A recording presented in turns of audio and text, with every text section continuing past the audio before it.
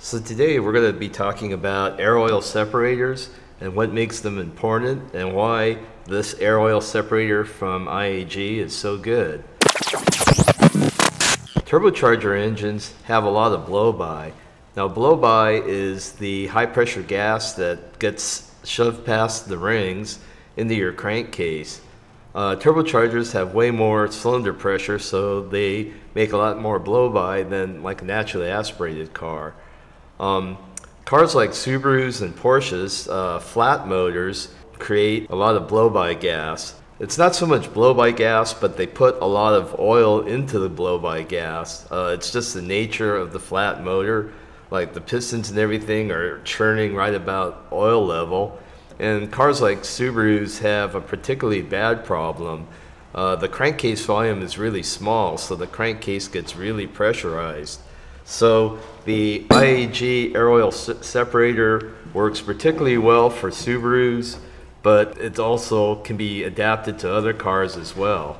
Like um, IAG makes kits where this will drop right into any of your Subarus. Uh, it has all the brackets, lines, and hoses, but I think this thing works so well. Uh, I would put this on any turbocharged car. The air oil separator is different from a catch can. A catch can is what you have on your valve cover breathers, and it's a can that prevents you from dumping like oil straight on the ground or on the track. The catch can is required by a lot of uh, racing sanctioning bodies just so you don't oil the track for that reason. The bad thing about the catch can is it doesn't return the oil to the crankcase. And if any of you guys have tracked a really built turbo car, particularly a flat motor like a Subaru, you'll notice that that catch can gets pretty full. Like you can fill a pretty high volume catch can in just one session on the track. Um, and that's all oil that's not in your crankcase.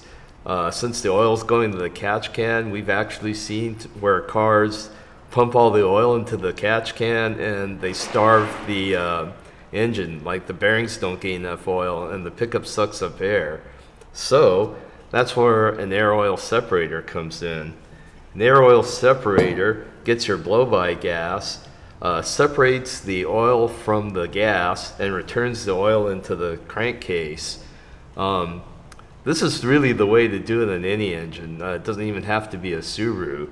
Um, like we set up most of our cars, particularly the track-driven ones, in this manner.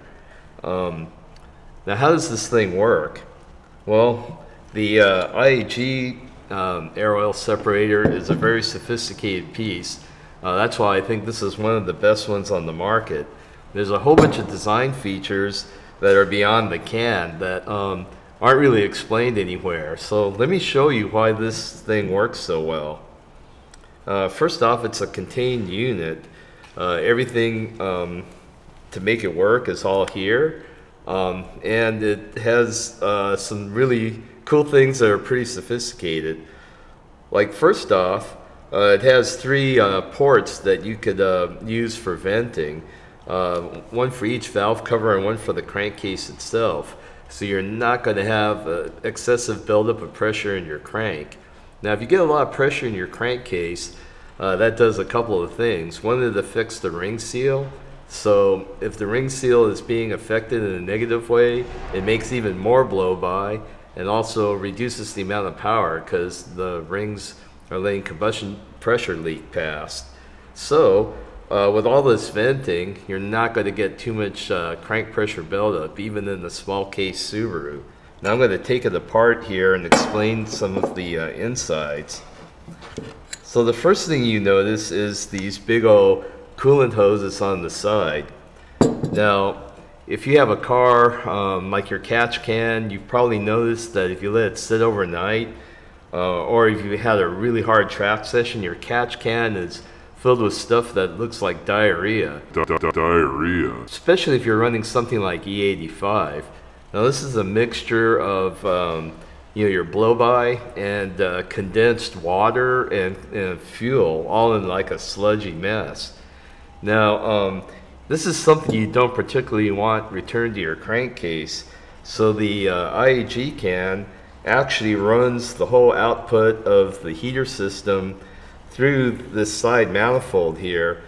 And with all that hot water, the can actually runs at the same temperature as your cooling system. This way, uh, you don't have all the condensates like water and fuel uh, being returned to your engine. It stays nice and hot. Uh, those things get uh, vaporized out like the engine normally does in operating, and you don't have an accumulation of that sludgy diarrhea looking mess.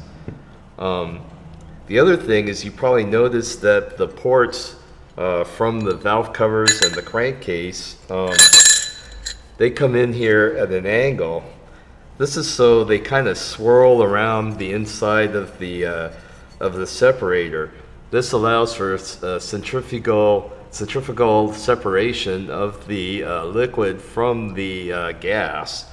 Uh, that way uh, you get rid of most of them and the first thing it hits is the really heated wall uh, from the car's cooling system from the heating manifold here. So as it comes out of the motor, it gets kind of smeared around the inside, uh, gets centrifugally separated and kind of swirls toward the bottom. Uh, the bottom is really cool. There's a separator plate uh, right here. I'm going to take it out. And if you see, there's like a little turbine looking thing. Uh, this really helps the swirl and uh, the separation of uh, any kind of um, non-oil liquid from the mixture. From this point, it goes out this uh, return port here back to your crankcase. The other cool thing is the mixture is swirling around in here and it goes around this inner separator now this is an inner sleeve, so there's no way that um, the oil can like get puked out here. Um, and there's also like a separator baffle like in the very bottom. So the higher pressure gas can actually just come up here and get condensed further in this uh, mechanical separator before it gets returned to your um, you know engine or vent to the atmosphere depending if it's a race or a street uh, uh, thing. If it's a street one, it gets uh, stuck back in before your throttle body. And this is uh, nice, clean air. There's no oil in it. You don't want oil because that could lead to detonation, fouling plugs, and things like that. But once it's gone through this can, uh, the oil is removed, comes out the bottom here, and nice clean gas is coming out of the top. One really cool feature is the uh, vent port can be rotated uh, 360 degrees, so that'll help your installation. Uh, you can just spin it around, it can go anywhere. Uh, same thing with all the mounts, they can be oriented. These banjo bolts will let you reposition everything. And um, this thing happens to come with brackets to bolt straight in your Subaru, but you could actually make your own bracket and put it, put it in any car using this mount with a lot of different holes so you could have it high, have it low, whatever angle you want. This all gives you a lot of mounting flexibility. That's basically how this thing works. It's probably the most sophisticated unit on the market. Um, IAG sells this thing for Subarus, but I would have no problem adapting it to any of our turbocharged project, project cars, and it's going to do a great job. If you like this video and you want to see more, don't forget to uh, mash that subscribe button.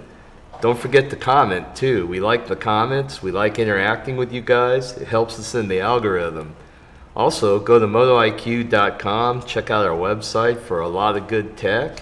And um, if you want us to mess with your car, uh, there's a garage services button. Click on that and we could get back to you. And we can do most anything you need here. Till next time. I guess we'll see you later.